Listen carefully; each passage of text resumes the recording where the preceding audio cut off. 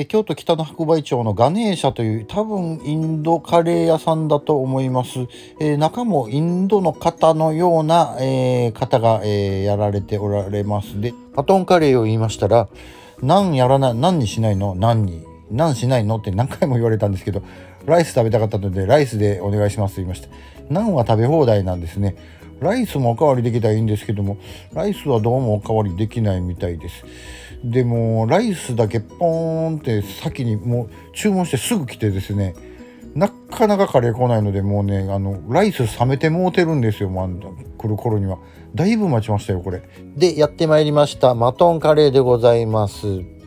でちょっと上に辛いのが、えー、乗せてありますね、えー、うん、ご飯だけちょっと味見したんですけども冷めきっております。残念ながら。で、えーまあ、その辺がやっぱりなんか日本と違うんでしょうね。こう意識がという感じなんですけど。で、えー、カレー肝心のカレーはですねあの辛くは全然辛くはないんですけどあのスパイスが、えー、入ったシンプルな、えー、カレーだなという印象でございます。えー、まあ肉はまあまあ結構あの入ってはいたんですけれども、えー、まあこんな感じですねもう何よりもあのご飯がもうねもうあの冷めてしまっていているのがもうちょっと気になって気になってもうちょっと自分の中ではおいおいと思っていてたのを非常に覚えてるんですけれども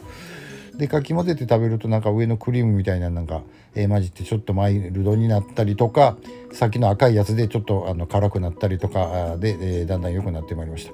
ご飯もうちょっと足りないんですよね僕の中では、えー、ということで北の白梅町ず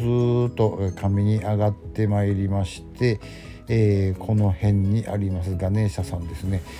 えー、やっぱり日本人の感覚と違うんでしょうねこれインドの方なのかどこの方なのかちょっとわからないんですけれども、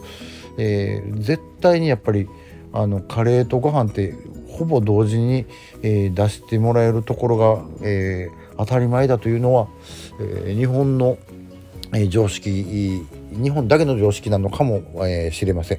えー、ということで、え、今日食べた、えー、ものをサクッと揚げるチャンネル今日のご飯チャンネル、えチャンネル登録よろしければこちらでお願いいたします。それではまた明日です。ありがとうございます。